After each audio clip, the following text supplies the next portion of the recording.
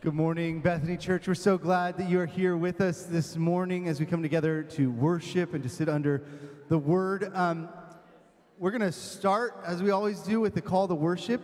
Uh, this one comes from Psalm 100, just highlights uh, our call to praise and glorify our good, loving, and powerful God. Will you stand with me as we do this?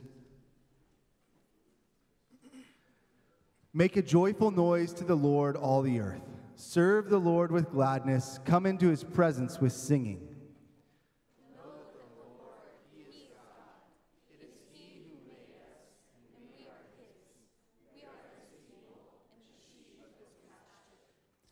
Enter his gates with thanksgiving and his courts with praise. Give him give thanks to him, bless his name. For the Lord is good his steadfast love endures forever, and his faithfulness to all generations.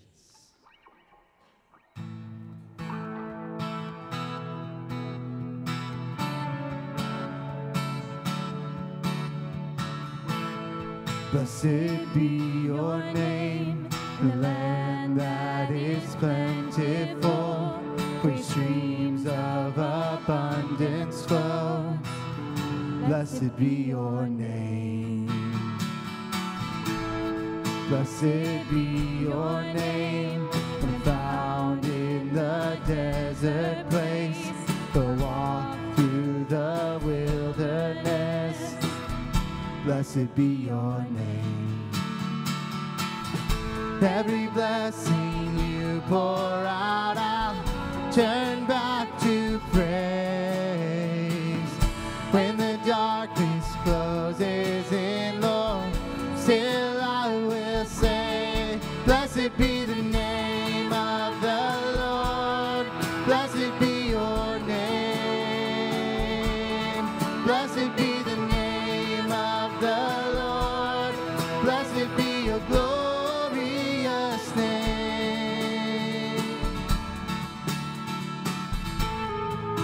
Blessed be your name, and the sun shining down on me, and the world's all as it should be.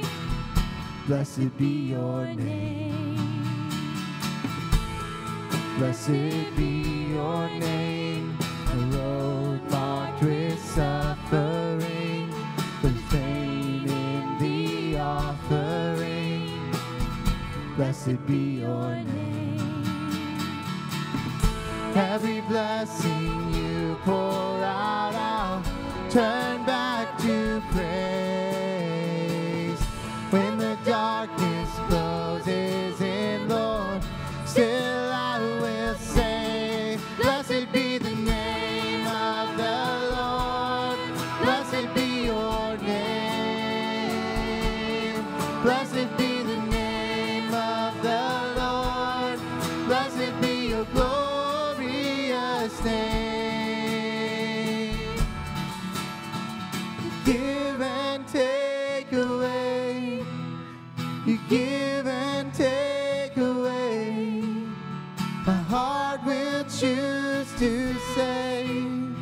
but blessed be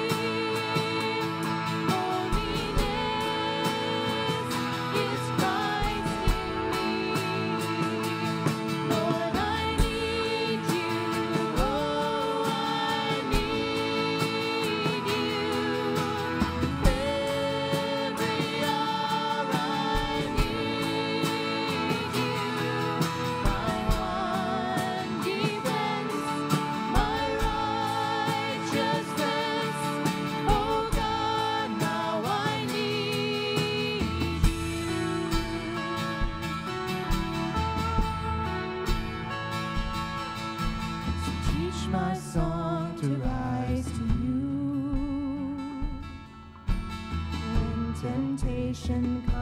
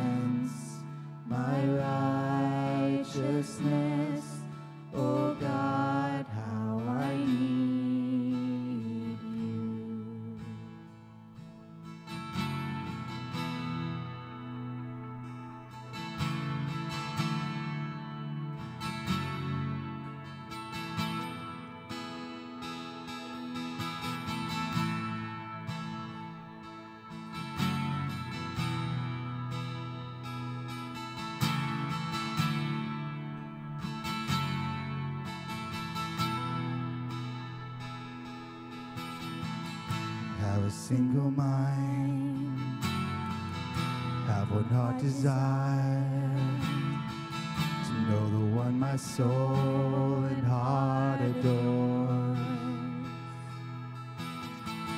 Have one single aim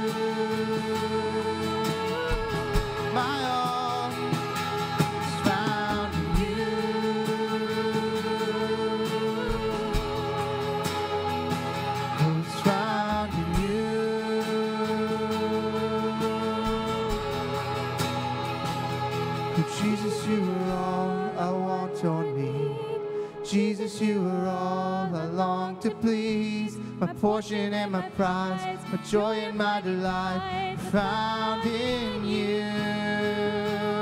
Jesus, you are all I want on me. Jesus, you are all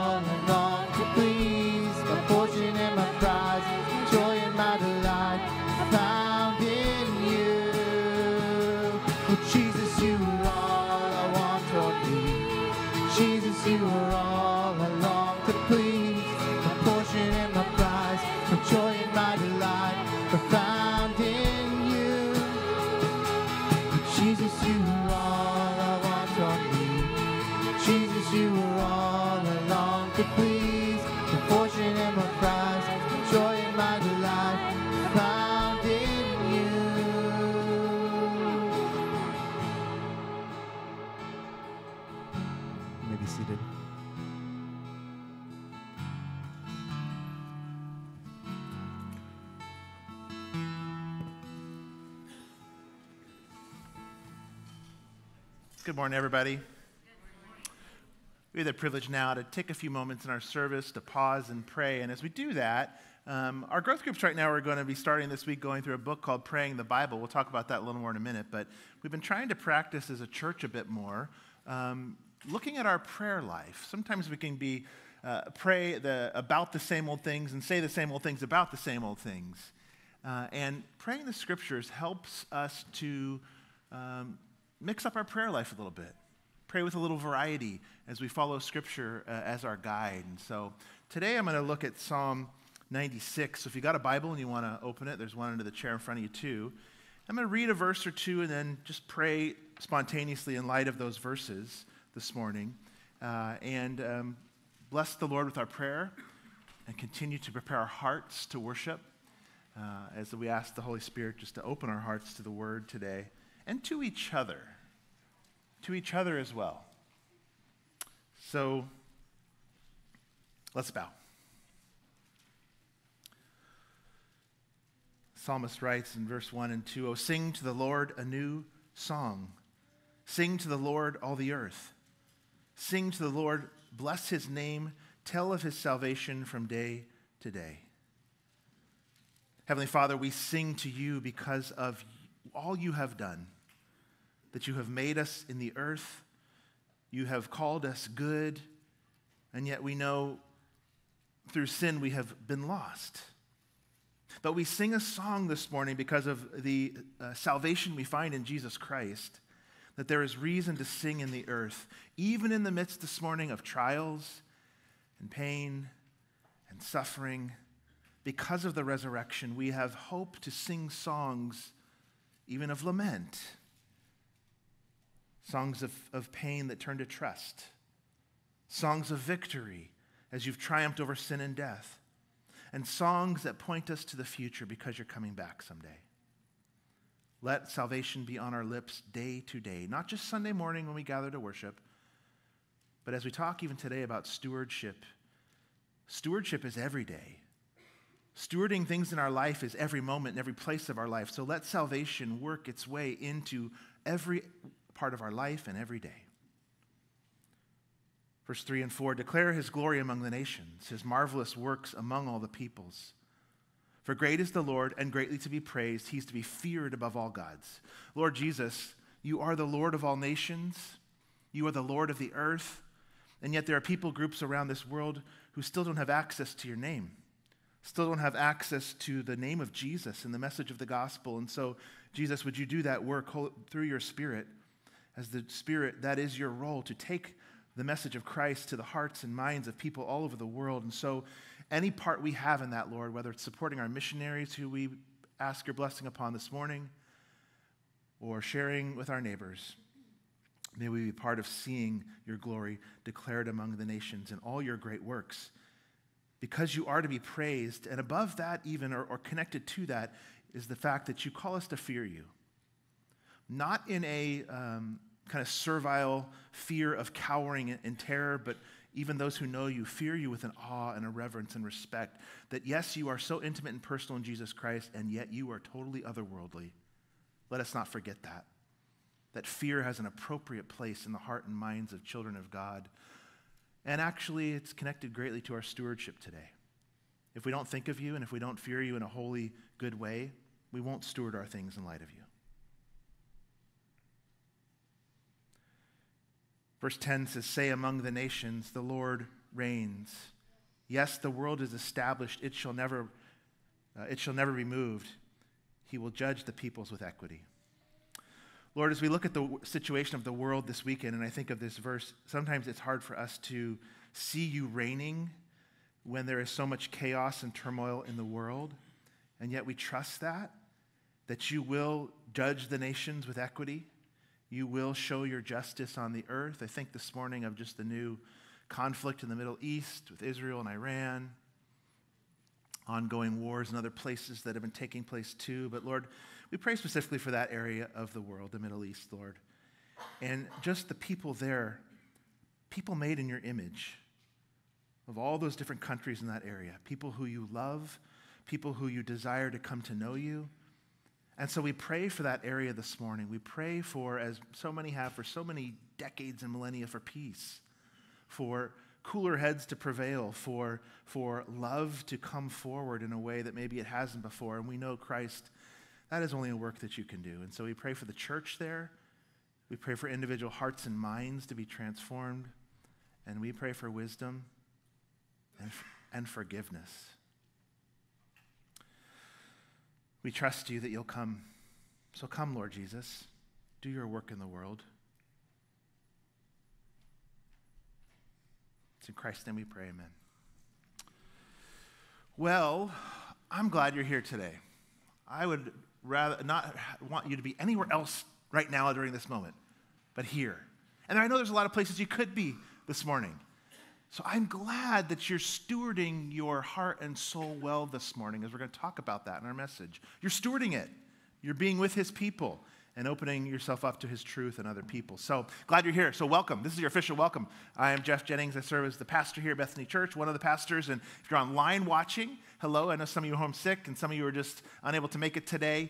Uh, I'm glad you're checking in that way with us online. If you're new to Bethany Church, I already met one uh, person this morning. Want to let you know we're just glad you're here. Our hospitality team welcomed you in probably, and they're going to be out there afterwards at that welcome counter to give you a gift if you're new. It's a Bethany Church water tumbler kind of thingy here uh, with our logo on it. Inside it, there's some uh, notes about the church, a letter from me, I think a sticker about from our church, just some stuff to let, uh, welcome you in and give you some information about the church. If you're here, maybe you've been a few weeks or a few months, and you're kind of like, I, I, we're ready to make Bethany Church our home and, and be here and call it our church. Uh, we ask also if you fill out a next step card. This is what ha- gets your email and some personal info about you, um, just so we know you're here. We can get you in our system and in our in our um, uh, directory and on our all church email, so uh, you can start just staying up to date on everything going on here at the church. Uh, so you can fill that out and bring it to the hospitality, uh, the welcome counter, or put it in the box, our offering boxes uh, on the back. Uh, I, was looking for somebody this morning. Are the Hayes here, Jim and Tammy, to see them? I don't see them this morning. Well, we'll, we'll, we'll chat with them. There they are. There's Tammy right there. Hi, Tammy. Come on up. Tammy's going to chat with us a little bit this morning as we come to a new, fresh season of Growth Group. Hi, come on over here.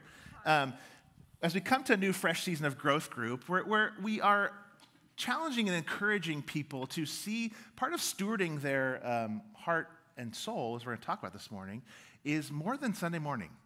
It's being part of a small group, whether that's a DNA group, which we'll highlight in the coming weeks, actually, or a growth group. Our growth groups are starting up again this week, and we're going to, as I said, be going through this book, Praying the Bible by Donald Whitney. Um, and we're going to be practicing that. I know that makes you maybe some of you a little timid, but we're going to be doing kind of what I just did this morning. There's a script kind of to use. And we're not just going to be praying out loud right away. We're going to ask you just to kind of do that quietly in your groups. But short little book. But we're not going to talk about that necessarily this morning. But I want to hear from you kind of. You guys have been in a growth group the last few years, and it's on. You're all good. Maybe you could tell us um, kind of how growth groups have impacted you. And I, I think James goes with you. I think Christopher's gone too at times. So tell us a little bit how it's impacted your family. Well, they both go with that. I mean, everybody's there. But um, I did want to say, as soon as he started praying, I started coughing. I think it was because I was getting nervous, and my boys aren't here with me today.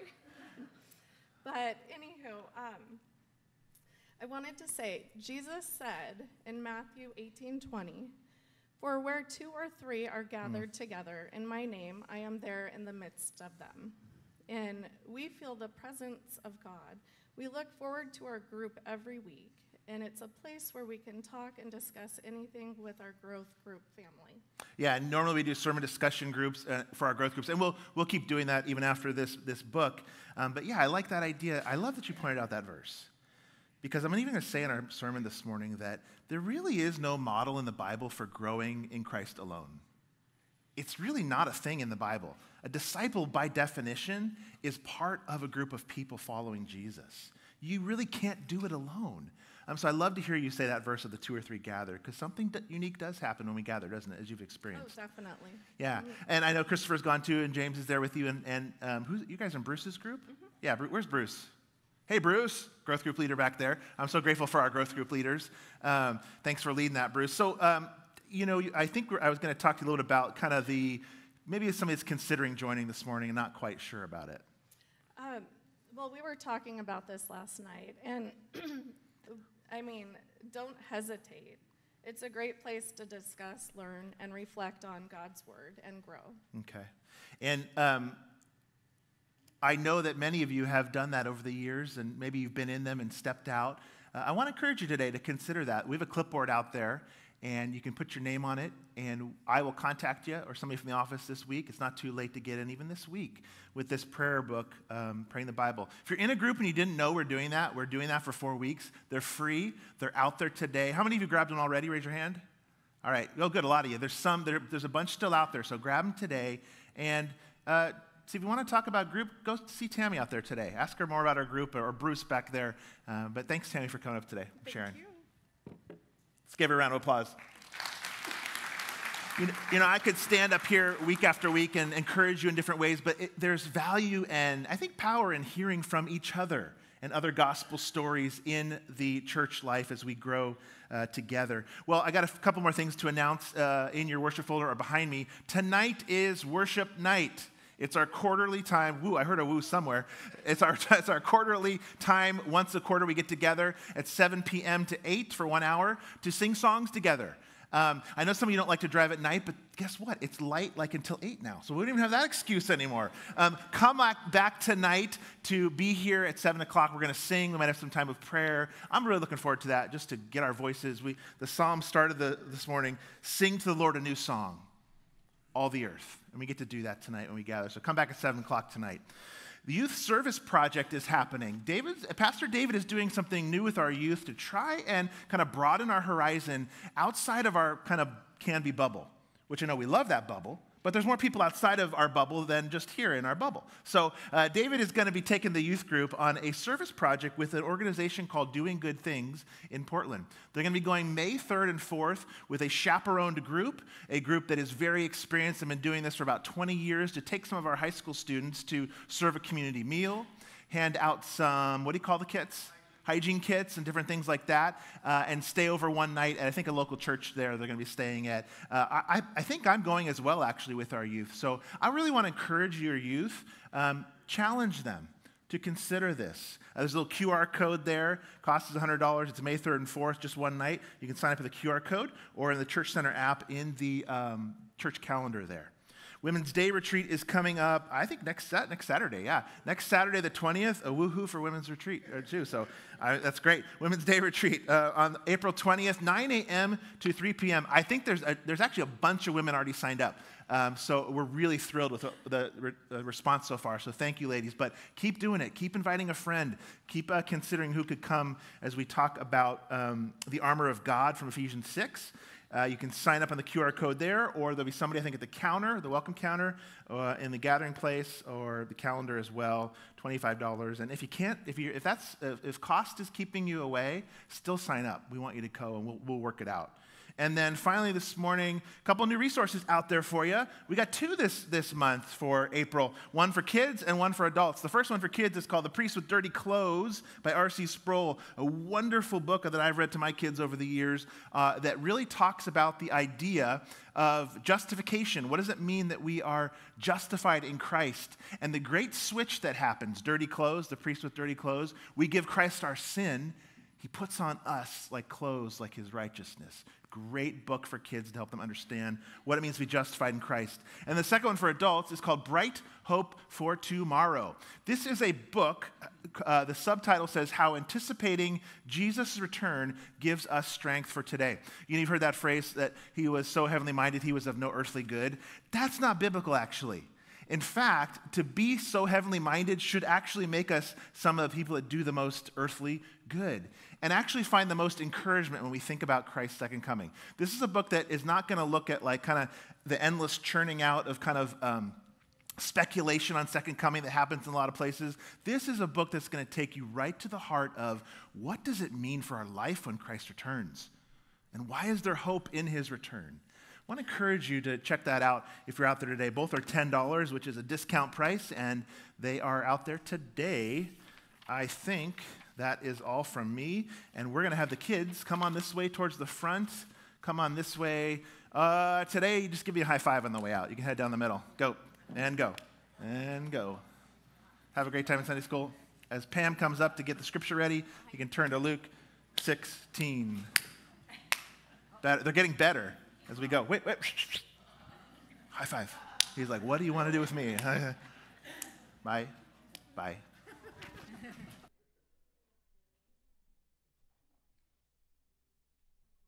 And I can imagine you whistling for me.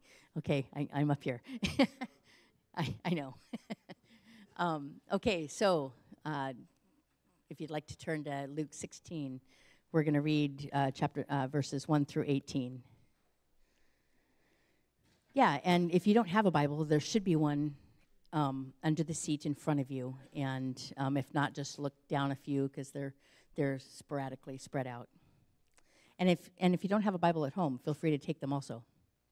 All right. So, the parable of the dishonest manager. Um, he also said to the disciples, There was a rich man who had a manager, and charges were brought to him that this man was wasting his possessions. And he called him and said to him, What is this that I hear about you? Turn in the account of your management, for you can no longer be manager.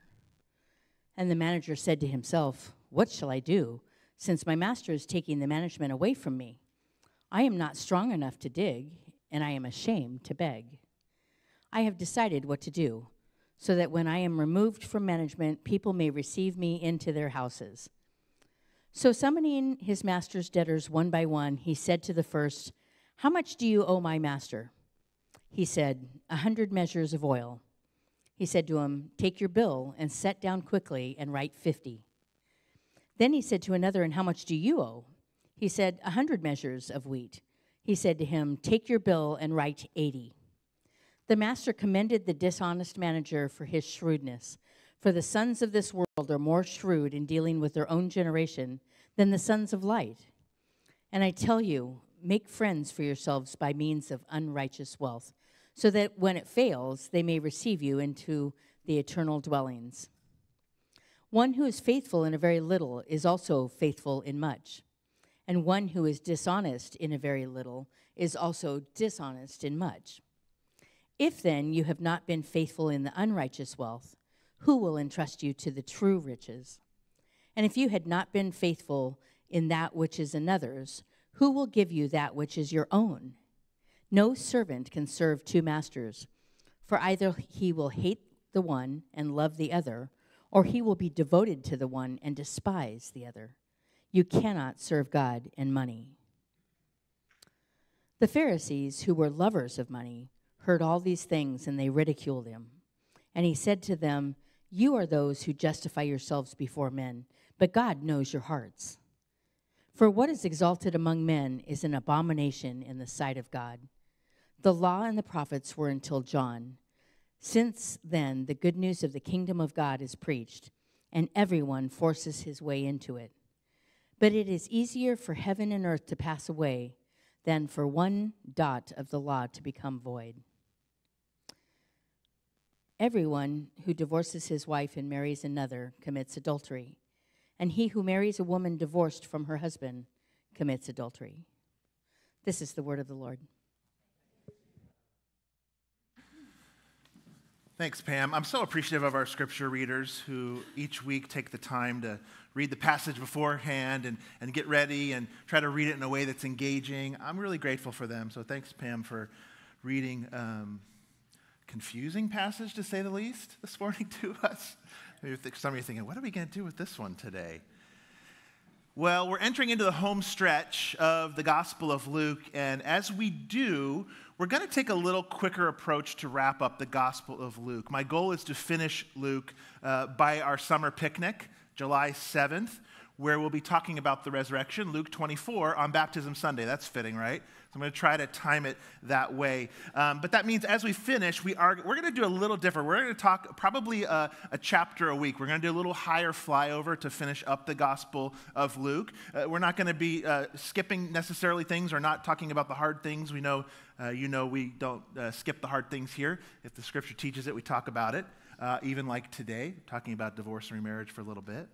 Um, but I want to encourage you. What that means is each week I'm going to encourage you, uh, if we're going to take maybe a chapter in a week, I want to encourage you to read that chapter ahead of time. We probably won't be reading entire chapters, especially the one that's like 70 some verses.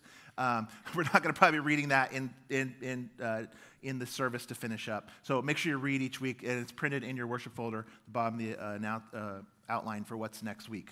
So, my goal really is I want to start a fresh new series in the fall rather than co- coming back for five weeks or four weeks on Luke. I want to start something fresh in the fall.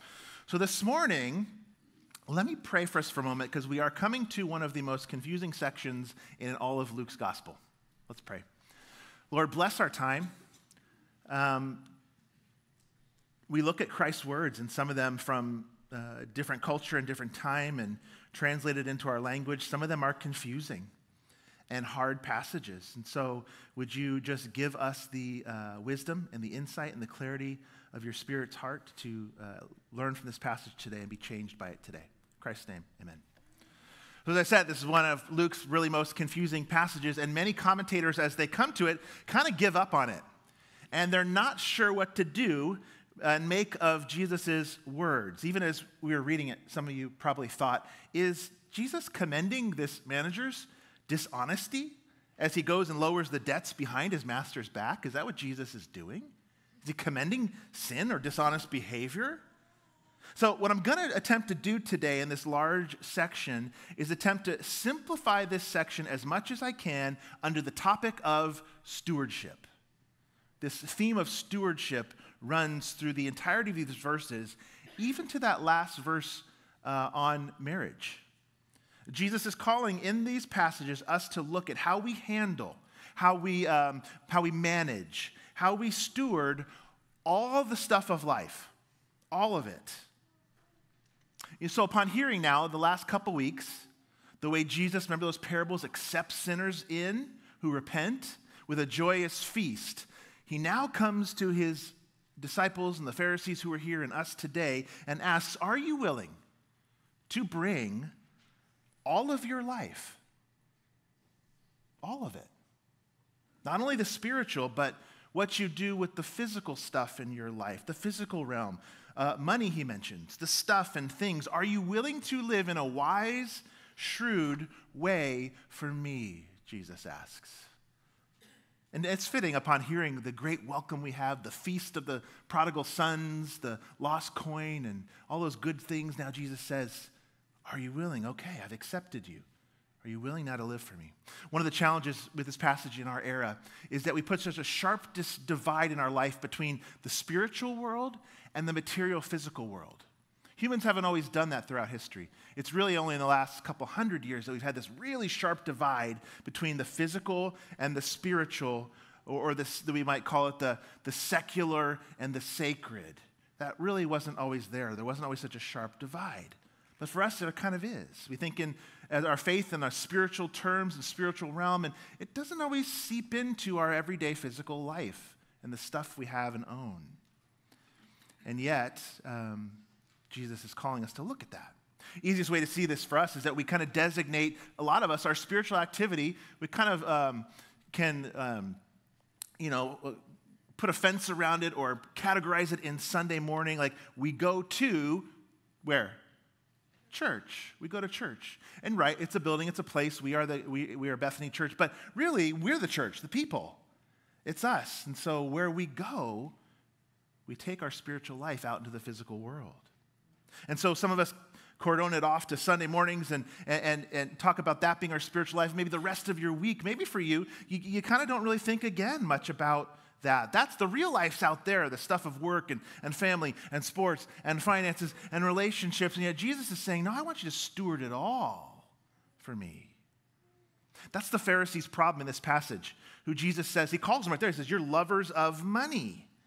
They're things. They've got a watertight divide between their stuff and their spiritual life.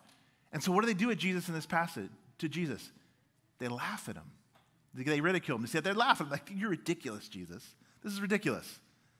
Because they've got this divide. And Jesus is saying, No, get rid of the divide. Bring your spiritual life into every area of your life. So this morning, he's speaking to his disciples. He's asking us to think through these questions How are we to steward the life God has given us? If God is the creator and sustainer and ruler of all, aren't we living under his roof? Uh, the master. He, so, like the master manager parable, God in the story is the master, the manager is a parallel to us. So, let's think in those terms. Do you remember hearing this phrase growing up? If you're living under our roof, you'll abide by our rules, right? you heard that growing up. Well, here, though, it, it, a similar concept, but it's a loving, tender God looking at us saying, Okay, I love you, I've saved you. In fact, I, I, we were throwing a feast, right? Remember the prodigal parable? We'll throw a feast for you, and it's awaiting you. So, in the meantime, be wise. And the best for you is to let the spiritual and physical come together and actually use the physical stuff in your life to further your spiritual life. You, you live under God's roof. That's the gist. Like verse 16, be those that force their way into the kingdom, which probably is more of a strenuous urging to enter God's kingdom for all of us, to be mindful of how you steward. So, we're going to look this Sunday at multiple areas of our life and the responsibility to be good stewards, and then the one ultimate steward. So, hopefully, you got an outline. Hopefully, you'll like to fill things in to keep track of where we're going. And scripture is open to Luke 16. We'll, we'll reference a few verses and go back to them. I better turn there too, right? I'm preaching it. Uh, okay, so first area we are called to steward our things, our stuff well. The story itself of the shrewd manager now, uh, the master and manager, the manager works for the master. The story itself of the dishonest manager is, is fairly understandable to summarize it, he's dishonest, he's wasting the master's money, he's not a good steward. He's like the prodigal son from the previous parable, spending it all, wasting it. And the master finds out, the master who represents God, and he's going to fire him. So the manager uh, doesn't want to beg, too lazy to work hard. He cuts some deals with all the debtors to his master. He hooks them up. That's what he does. He hooks them up. So that when he loses his job, He'll have friends who will hire him and repay the favor. Pretty under similar, simple story. The challenge comes in Jesus' words. Everybody's like, what is Jesus talking about? What is he, what is he saying? It comes in Jesus' application in verses 8 and 9. Look at 8 and 9 with me of 16. Uh, Jesus says, Well, the master commended the dishonest manager for his shrewdness. Then Jesus kind of steps out of the parable and speaks to the disciples. For the sons of this world are more shrewd in dealing with their own generation than the sons of light. And I tell you, make friends for yourself by means of unrighteous wealth, so when it fails, they may receive you into the eternal dwellings. Any idea what that means? I see some shaking heads like, uh, I don't know what he's talking about there. what is he talking about? So the master here commends the manager's shrewdness on one hand, while not condoning his dishonesty. Uh, but he's com- he is con- uh, commending him at least on one part of his character the shrewdness in some way to take care of himself. And then Jesus steps out of the parable in 8b there and says, The sons of this world, he says, they use wisdom as they deal with their stuff. And he says, You too should, as sons of light, use the things, the stuff of this world, in particular your money, for spiritual gain, spiritual advantage. The punchline's in verse 9 where he says, unrighteous wealth, use unrighteous wealth. And really, what most commentators think that means is just worldly wealth. Wealth you earn by working and, and living on this planet and having a job. He says, use the wealth of this world to make friends that will outlast when all that wealth disappears. Because it will. And it's going to. Make friends that will receive you into eternity. Well, who are those kind of friends? Who would that be? Well, it's either one or two things. It's either other Christians who will precede you to heaven and receive you when you arrive, as we talked about uh, at Doris's service yesterday. Uh, those that might be there to wait and, and, and welcome her in. So it's either that or, or only the true, really, truly friends who can receive you this way Father, Son, and Spirit. It's one of those two. But regardless, Jesus is saying this here. If you place your security in money, it will fail you. So use your money to prepare yourself for the future that's coming. Act shrewdly now with your money to secure your own best interests on the future day in heaven. This means we steward our money with generosity. Because ultimately, it's the master's anyway. He owns the cattle on a thousand hills, right? It's all his. So he says, use it with generosity. It's actually the Lord's anyway, and not really ours. We are stewards. It's a really important word. And it's a really important concept in all of God's word and for our life every day. This idea of stewardship. What is that? It's really um, hard uh, to kind of really think about. Stewards, a lot of us don't own a lot of property and, or have big farms where we steward and manage, and a lot of us work for someone and don't have people under us, right? The best way I've thought how to illustrate it in my own life is the day we took our first child home from the hospital. Some of you may remember, had a day like that, remember? And I, I remember the feeling. You know, for nine months, this baby, you know, the baby had already been living in our, inside our house, just inside mommy, right, as every baby does.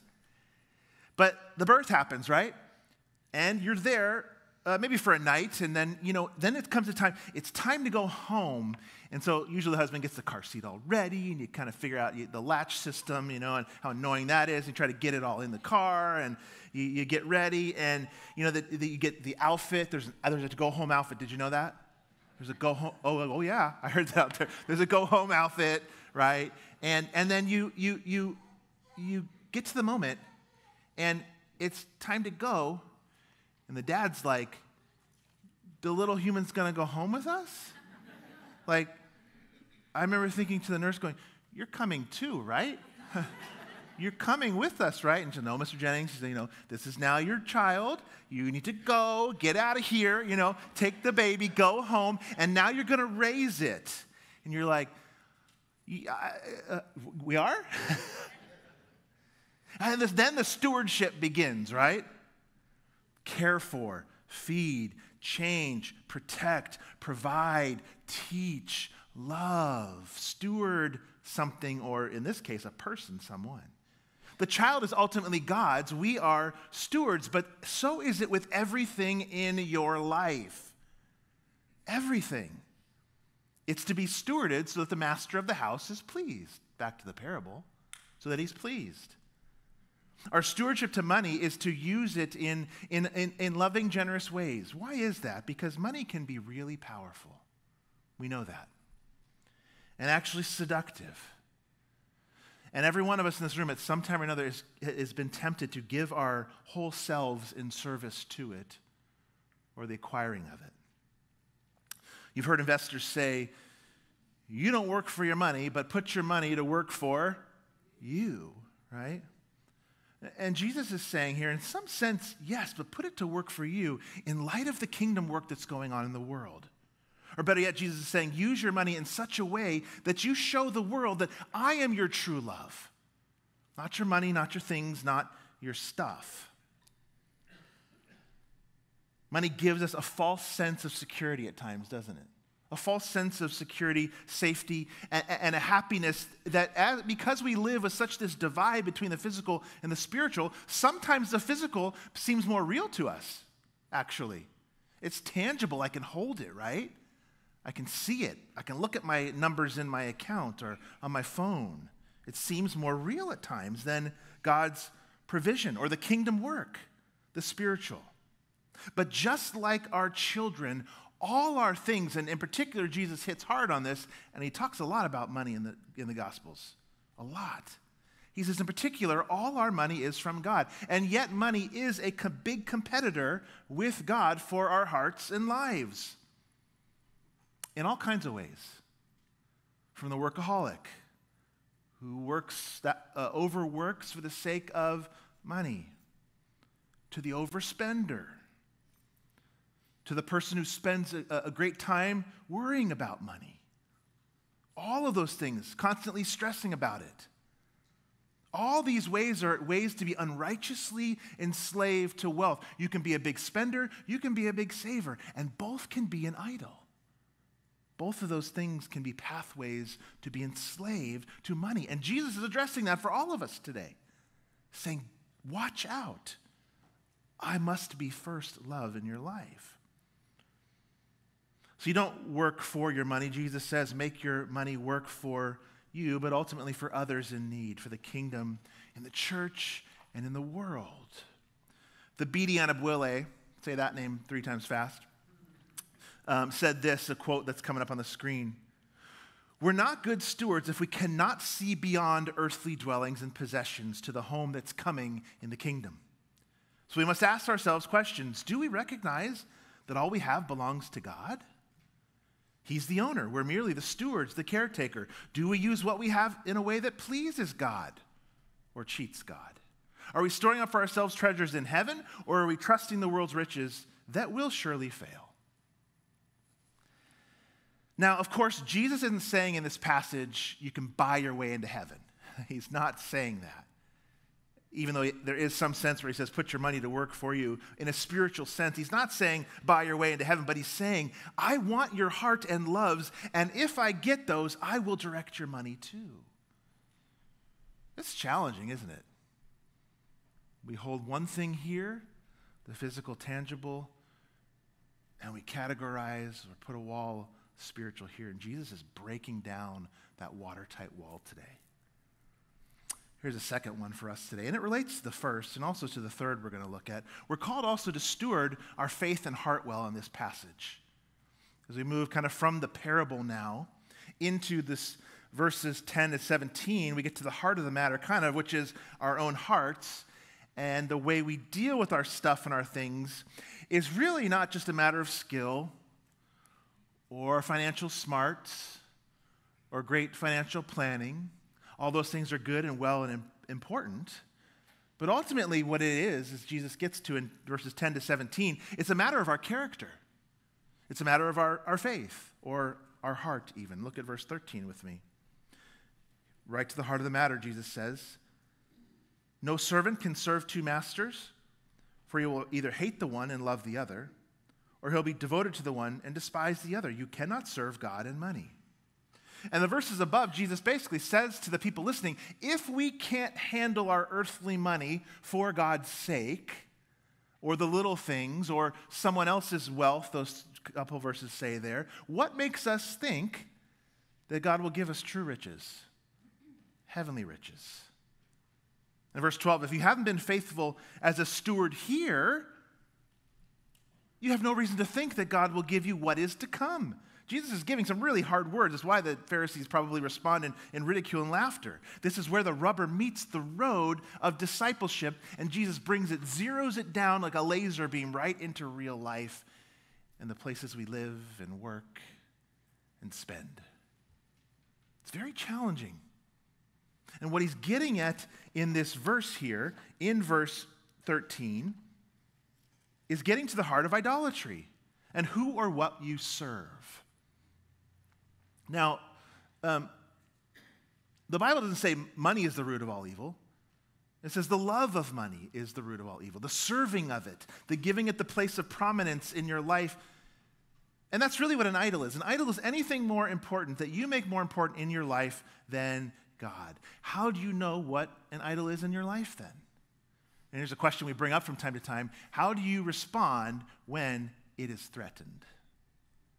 How do you respond when that thing is threatened? That could be anything, really your reputation, your sense of intelligence, your finances, your looks.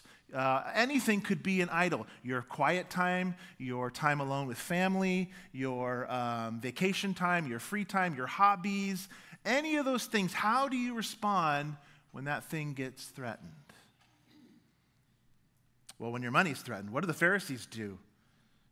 They laughed at Jesus because their idol was being threatened. They didn't respond in a biblical, loving, godly, holy way. They laughed at Jesus. They have to dismiss him because his words were ringing true and they were biting and they were stinging and he was tearing down the watertight divide between the spiritual and the physical, the sacred and the secular, and he was bringing them all together. And their excuse was to laugh at Jesus and say, well, you know, God knows my heart. He knows my heart. But Jesus goes right to the point that's the problem. Our hearts, they fool us. Our hearts can deceive us. We love other things at times more than God. John Calvin, the great reformer, called our hearts a factory of idols. it's a factory of idols, ever producing more and more things that vie for our love with God. And verse 15b says, There are some things actually. Take a look at it with me there. Verse 15. For what is exalted among men is an abomination in the sight of God. What's Jesus saying there? He's saying there are some things in your life that you call loving, or that you love, or that we love, that in the eyes of God are actually an abomination. We can fool ourselves that much, Jesus says. Something we cherish, something we value, something we hold on to that Jesus looks at and says, That doesn't please me. And uses that strong word, abomination, even. Just because we put the label of love on it, or even if our culture puts the label of legal on something, that doesn't mean God sees it the way we see it. That's what that verse is saying there. Just because we see it one way, even as Christians, doesn't mean that's the way God sees it. And that's the heart of stewardship seeking to have the eyes of God as we look around at our world and our life and what we do with the things we're called to steward. And Jesus' response is You can't fool God with your loves. God sees your heart, which on the one hand is comforting, but on the other hand, it can be concerning, to say the least. You think you can act religious, Jesus is telling his Pharisees on the outside, but God sees to the depths of your soul. He sees your heart. That's why it's so important to be a good steward with your faith, with your soul, with your heart, with your relationship with Christ, whatever you want to call that part of you.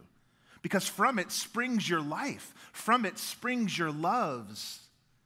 Because we're so much, we're given so much to steward. Not just money. Let's make this really practical. What are some of those things? Even some, our youth today, listen, as youth, you are given the, the responsibility to steward how you grow in your mind right now as a student, or how you use your body as an athlete, even, or in other ways in life. You're called to steward things, how you live under the authority of your parents right now, as some of our youth. You're called to steward that right now. So this isn't just for the adults, this is for you too. Here's some other ones. And these apply to both adults and kids, most of them. Our hearts we're called to steward. Our church, our local body, our children, our money, we've said, each other's reputation, Christ's reputation.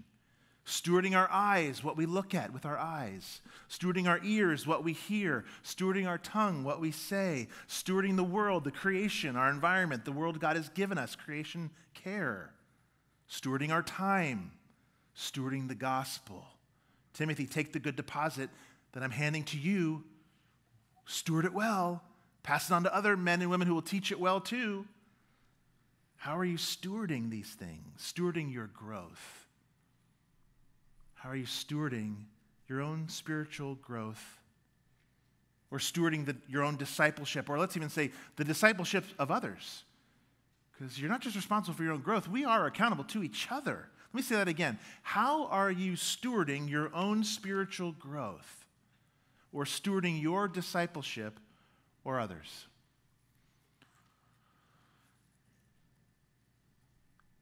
It's the most important thing we do.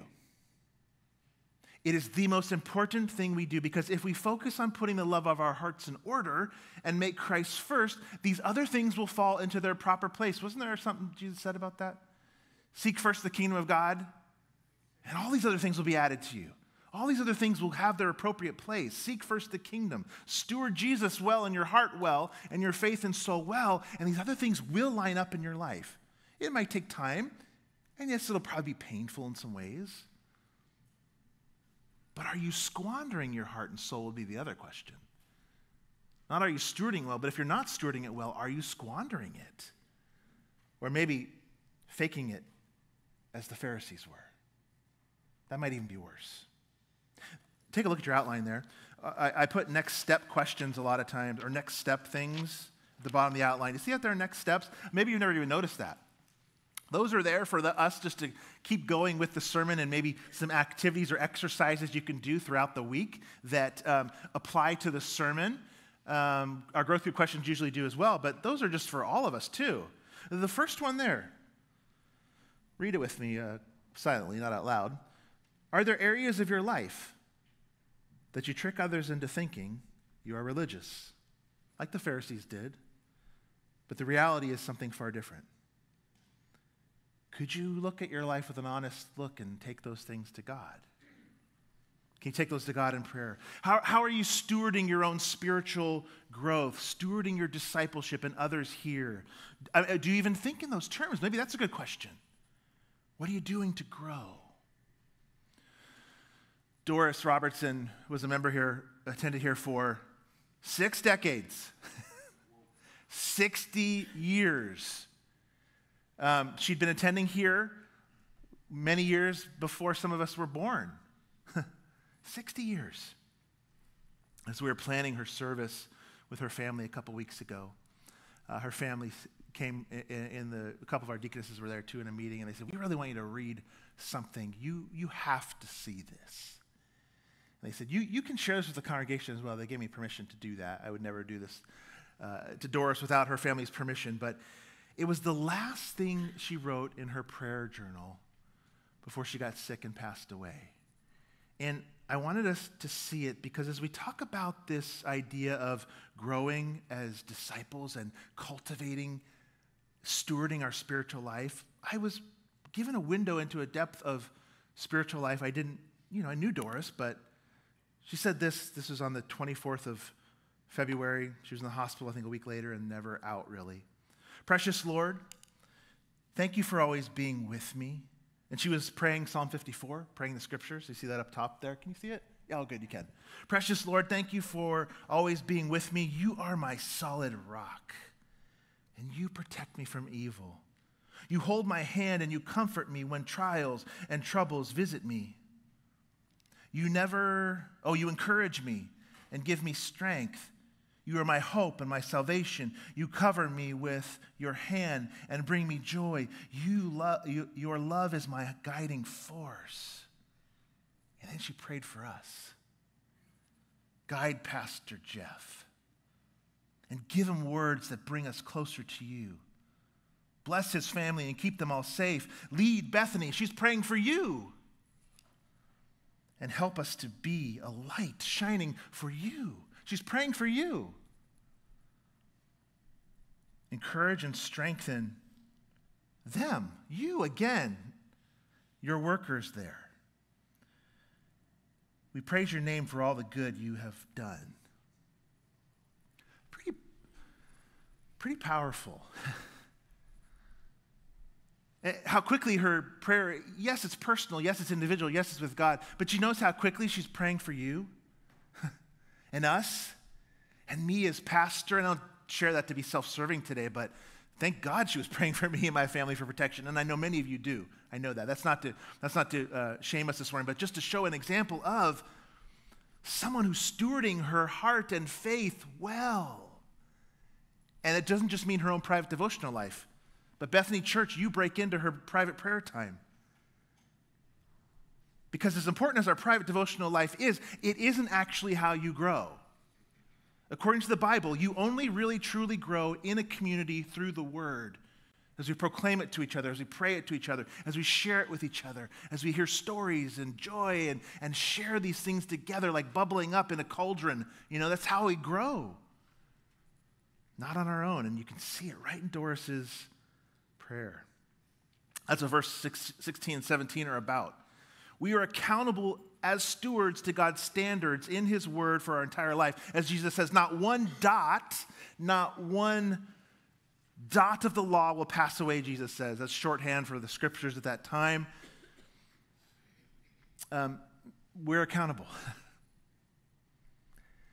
we're not quite ready right now, but come fall with our growth groups, with our DNA groups, come fall, we're going to roll those out a little more um, robustly. And we're going to challenge pretty much everybody in the church. Because stewarding your spiritual life is that important and, and being part of others, for every person, I would love, I- 100% would be awesome, either in a growth group or a DNA group. And we're going to do best we can to lay it out, make it as easy as possible. We're going to make the organization and the signing up as easy as possible, but I can't sign you up. I can encourage you, and friends can encourage you, but I also can't make you feel the importance of stewarding your soul and community. That's the Holy Spirit's job. But a good steward, as we look at Jesus' words today, doesn't stand on the sidelines, sees the value of community, and leans into that. Stewarding our heart and faith, it's the second one. And then finally, today, we're called to steward our relationships as well. So, what verse is it? Verse uh, 18, yeah. Verse 18 seems to come out of left field. And maybe you thought, well, he's just going to try to get this one out of the way quick by adding as a tag on to the end of this message. So he doesn't have to talk about marriage very long. Not the case, actually. Seems to come out of left field, but we're talking in, about stewarding things well. And then we get this verse on divorce and remarriage. So, what do we make of this? What Jesus is doing is pressing the point of verses 16 and 17 that as he comes to earth, he in no way is relaxing our call to be holy, our call to be obedient, our call to follow his moral law, right? No, no, no dot of the law is going to pass away. He's pressing the point with this verse 18. At the heart of stewardship is managing things, isn't it? Money and finances, our eyes, our tongues, our relationships, as God would have us do. And so there's a connection here to how we steward the most intimate human relationship that there is marriage in the way God intended. Even as we talked about stewardship, I, am guessing with some of you, your mind has traveled to family obligations as we, that we all have. Stewardship makes us think and go towards those relationships that mean the most to us. And so it actually makes sense that Jesus makes the transition here when you think of the overall context of how important stewardship is. That he goes to the most important, intimate of relationships. Remember, context is really important. And in light of the context, it makes sense. It makes sense that Jesus would speak against adultery as he's talking about holy obedience and stewarding to a people who thought divorce was justifiable for almost any reason.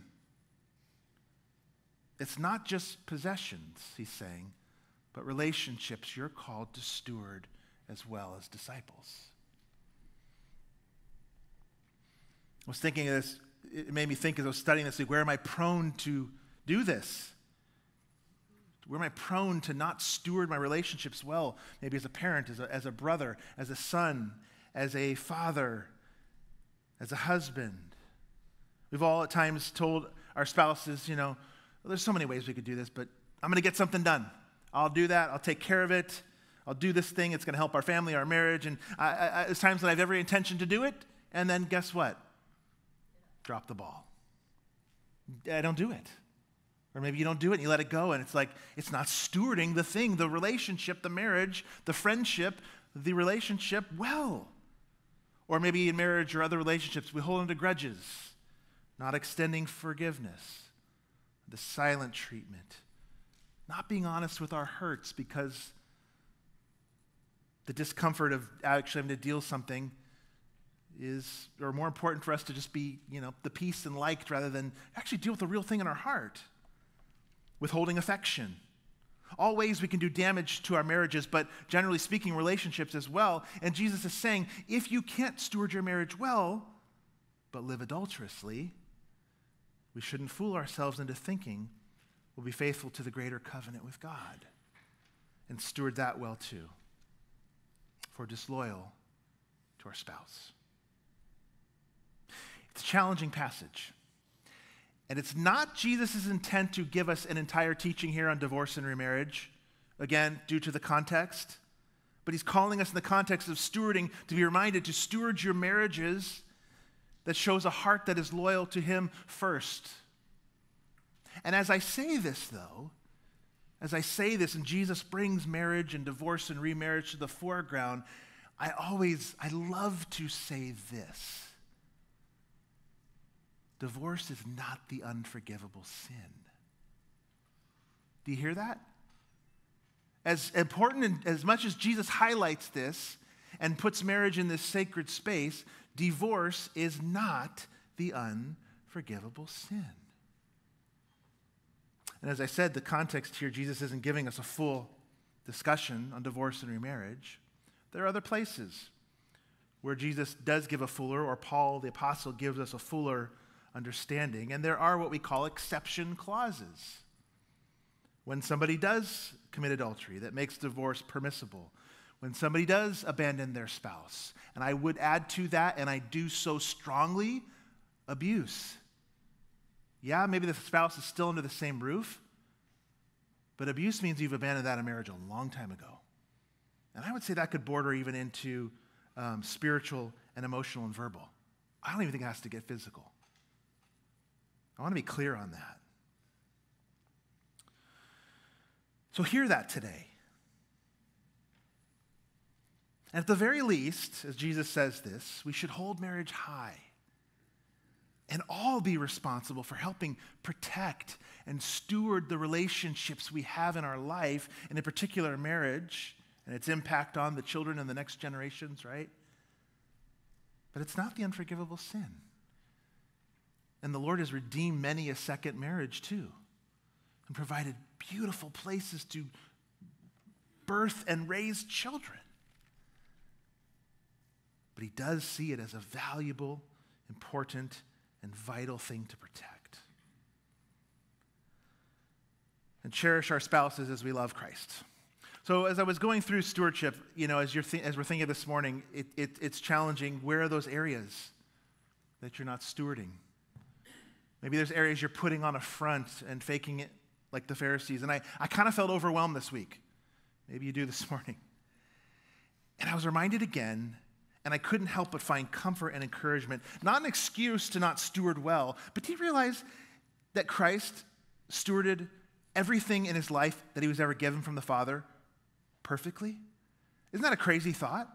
We follow the ultimate steward of all things in this life of stewardship and discipleship, is our final point. Every single thing in his life that the Son Jesus was given to steward by his Father, he stewarded it perfectly. Where he put his eyes, where he put his money, how he treated his parents, how he treated his disciples, how he stewarded his own heart and soul, his loves, and then how he stewarded the mission to come and redeem us. He stewarded it all perfectly. It's incredible. Hebrews says this. Maybe the writer of Hebrews was thinking of our passage. It's the great kind of stewardship passage the house, the master, the, the imagery's here, Jesus too. Therefore, holy brothers, you who share in a heavenly calling, consider Jesus. So if you're struggling with your stewardship, you're feeling a, like a failure, consider Jesus, the apostle and high priest of our confession, who was faithful. There it is, stewarded it. Was faithful to him who appointed him gave him the stewardship, just as Moses also is faithful in all God's house. For Jesus has been counted worthy of more glory than Moses. As much more glory as the builder of a house has more honor than the house itself. For every house is built by someone, but the builder of all things is God. There's the master, we're the manager. Now Moses was faithful in all God's house as a servant, manager, to testify to the things that were to be spoken later, but Christ is faithful over God's house as a son. And we are his house. If indeed we hold fast our confidence and our boasting and our hope. Jesus, the ultimate steward, perfectly did it. Not only the builder of the house, but he came to the house as a son, didn't he? And he's worthy of more glory. And in my poor stewarding, I have an ultimate steward. It doesn't excuse me from being a good steward, but in my failings, he forgives me. And encouragement, I look to him and see how he handled it all by trusting the Father. We're walking the path that he walked. Again, we say Jesus never asks us to do anything that he hasn't already done himself, and infinitely more so. He's the ultimate steward, too. Even Moses, who stewarded so well a wandering desert community of a million grumbling people, who wants to sign up for that? He did it well, but he, the writer says Jesus did it even better. So hold fast today. Bring your stewardship failings, even if it was a marriage, bring it to the foot of the cross. Find forgiveness, mercy, and grace to go forward, stewarding better today. Let's pray. Christ, we love that you were the great steward who did it all well and right and good and perfect. There's hope in that. There's forgiveness in that. There's mercy in your passive and active obedience. How you stewarded everything perfectly.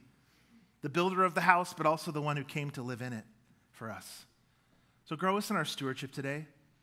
Holy Spirit, would you probe the parts of our life and our hearts where we are prone to hide or cover or to not give to you as you call us to steward everything well. It's in Christ's name we pray. Amen.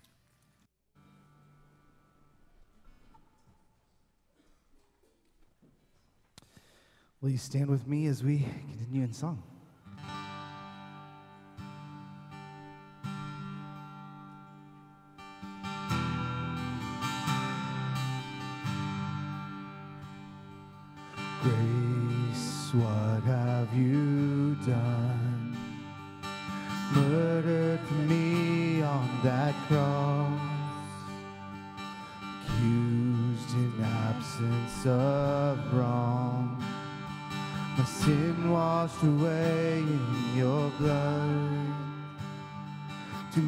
To make sense of